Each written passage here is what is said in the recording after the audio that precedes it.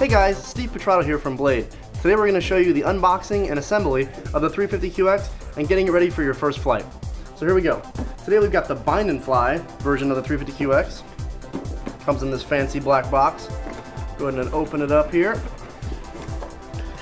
First thing you're going to notice is that you're going to have the manual. It's actually a quick start guide, a few tools to help you set it up, along with some legal information on the back. And you'll notice that the 350QX pretty much comes assembled right out of the box go ahead and pull that out. You'll notice the landing gear, the compass, and the props are all installed on the 350QX. Compass being down here. We'll set that aside for right now. Next we've got the charger. Pull that out of the box. You'll notice the charger is alligator clips. That's going to allow you to charge at the field from your car or anywhere you have a 12 volt power supply. It's really easy to use. We've got the battery. Pull it out. It's your E-flite 3S 2200 basically take the balance tab and you're going to go ahead and place it into the socket that it fits into. We'll set the charger to 3 cell and go ahead and turn the amps about to 2 amps just for now. We'll hook it up to our two to our 12 volts charger, car battery, power supply, and we're just going to hit start stop. It'll beep and it will start charging. All the directions are on the charger right there. Next thing you're going to notice in the box is you have your anti-vibration camera mount. It's in a couple pieces but we'll have to assemble that as well. Then you're going to have your GoPro Hero 3 uh, camera mount or camera case. That's going to go right for your GoPro Hero 3. Then we're going to have all the assembly items for your anti-vibration camera mount. You're to have the screw that holds it together, the silicone dampers that go in between, and the bolts that hold it to the frame of the quadcopter. And lastly, you'll notice in the box of the bind and fly, you'll have a couple sets or at least one full set of props. That way if you have any crashes, you'll have some spares right off the bat. Up next, we're going to assemble the anti-vibration camera mount. This is what you're going to mount your GoPro camera to. It comes in a few pieces like we just showed you. We'll go ahead and grab the top plate. That's going to be the top plate that has the screw mounts right here. You're also going to notice that it's going to have the word front labeled into the mold. You're going to grab the other one and you'll notice that it also has front labeled on the mold as well. We'll go ahead and install the silicone balls so that it's easier to install it on the quadcopter when we're ready. So, this part mounts to the bottom of the frame, so the silicone balls actually hang from right here. Go ahead and pull that off. Go ahead and grab one silicone ball. I find it's easy to kind of squeeze it and stick it through the hole and just kind of pull the top through. Pretty simple. And grab the other one and just go ahead and do this three more times until you have all of them installed.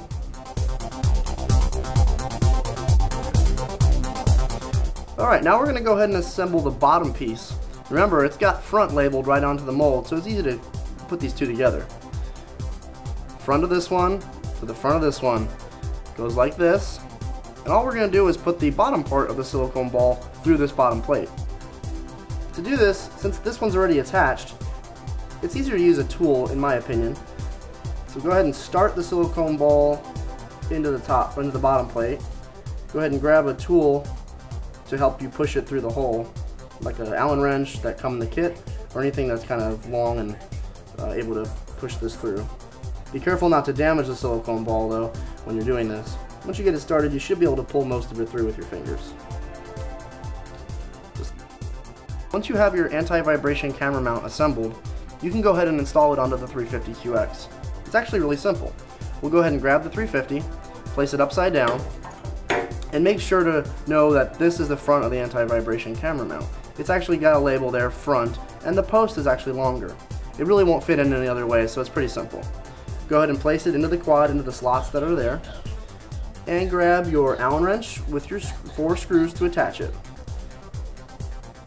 You're just going to go ahead and slide the screw down into the holes and screw it in until it's nice and snug.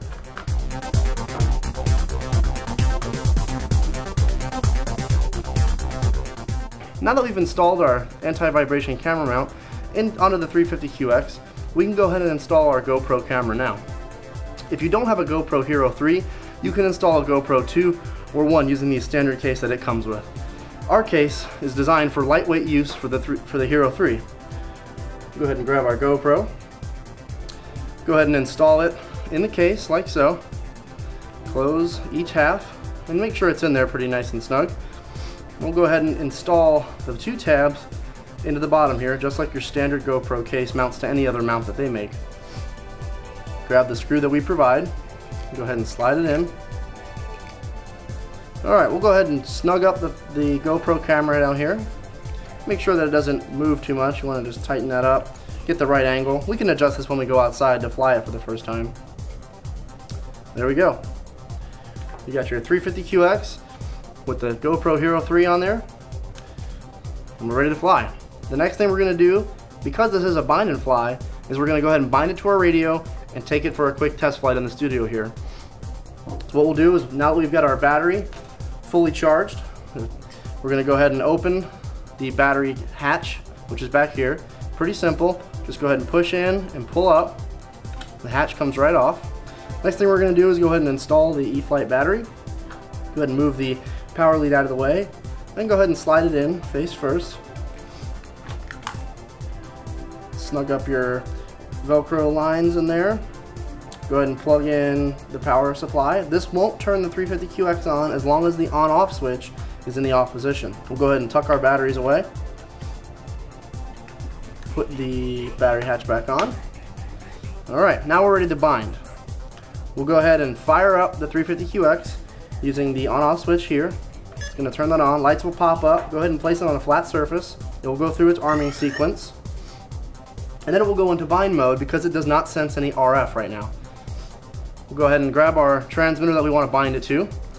Make sure you have all the computer programming done and it's all avail available in the quick start guide and on the online manual. We'll go ahead and bind this up.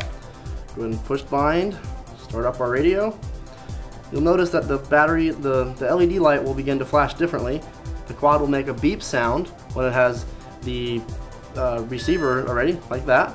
So now it's actually bound, and it's firing up.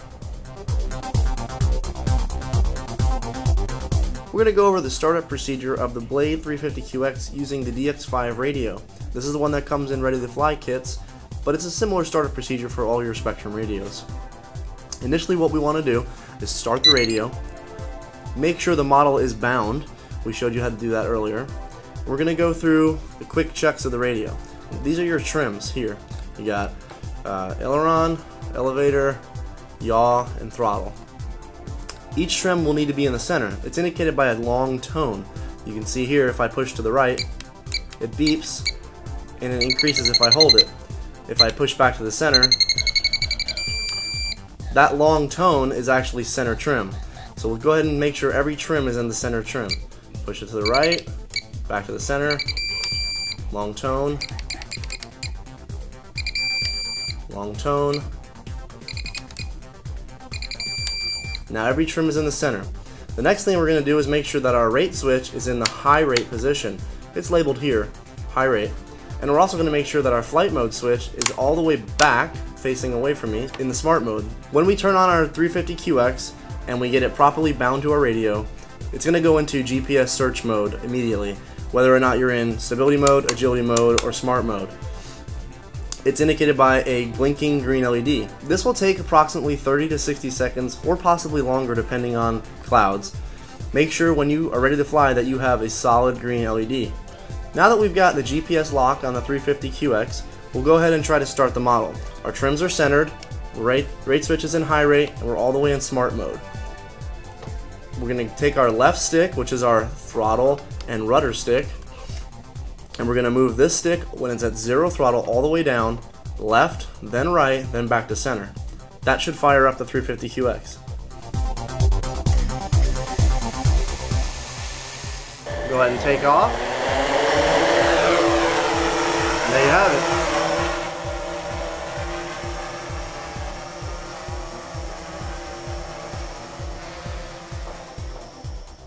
Okay guys, once we've installed the anti-vibration camera mount, the GoPro camera itself, and installed and charged our flight battery, ready to go out and do some nice pre-flight checks and get this thing up in the air outside for the first time.